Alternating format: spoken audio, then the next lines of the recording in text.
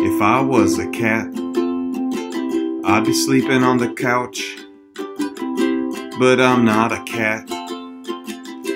So I'm watching StatQuest. StatQuest. Hello, I'm Josh Starmer and welcome to StatQuest. Today we're going to talk about deviance residuals, and they're going to be clearly explained. This StatQuest follows up on the StatQuest on saturated models and deviance statistics. So watch that video first if you're not familiar with those topics. We already know that the residual deviance is defined as 2 times the difference between the log likelihood of the saturated model and the log likelihood of the proposed model. Let's start by reviewing how the residual deviance is calculated.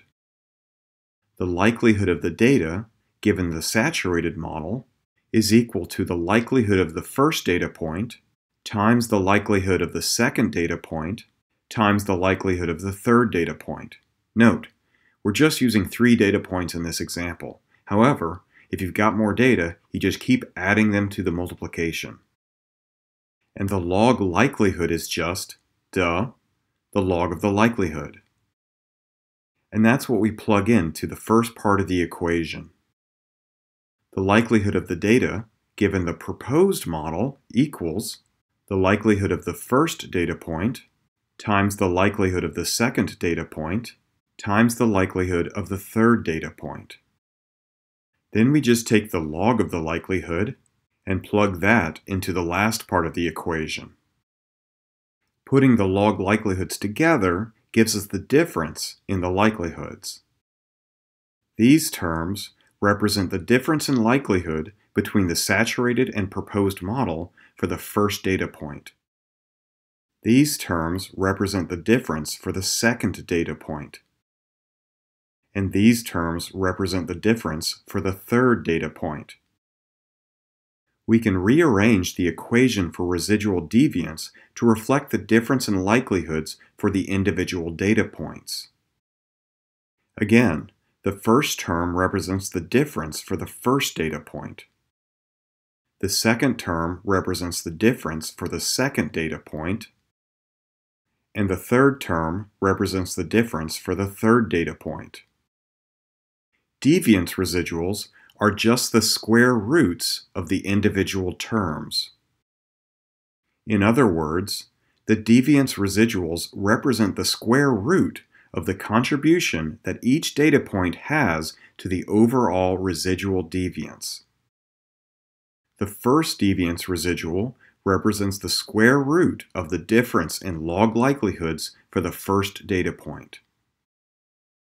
The second deviance residual represents the square root of the difference in log likelihoods for the second data point. This last deviance residual represents the square root of the difference in log likelihoods for the third data point. If we then square the individual deviance residuals and then add them up, we will end up with the residual deviance. Thus, the deviance residuals are analogous to the residuals in ordinary least squares. When we square these residuals, we get the sums of squares that we use to assess how well the model fits the data. Similarly, when we square the deviance residuals, we get the residual deviance that we use to assess how well a model fits the data. Bam!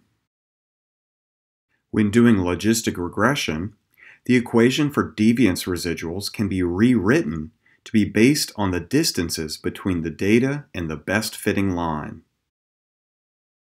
The blue deviance residuals calculated with the blue distances are positive because they are above the squiggly line. And the deviance residuals calculated with the red distances are negative because they are below the squiggly line. Making the residuals above the squiggle positive and the residuals below the squiggle negative helps us identify outliers. If you plot them on an XY graph, they should be centered and relatively close to zero. Here's the first deviance residual. It's close to zero because the squiggly line is very close to it. Here's the second deviance residual. It's a lot further from zero since the squiggly line doesn't fit it well. Here's the third deviance residual. Here's the fourth deviance residual. Here's the fifth deviance residual. And here's the last deviance residual. The second and fifth deviance residuals are relatively far from zero and may be outliers. We should make sure we didn't make a mistake when we originally labeled them. Double bam!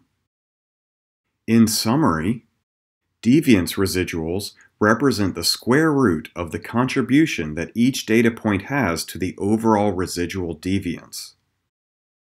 And we use them to identify outliers. Hooray! We've made it to the end of another exciting StatQuest. If you like this StatQuest and want to see more, please subscribe.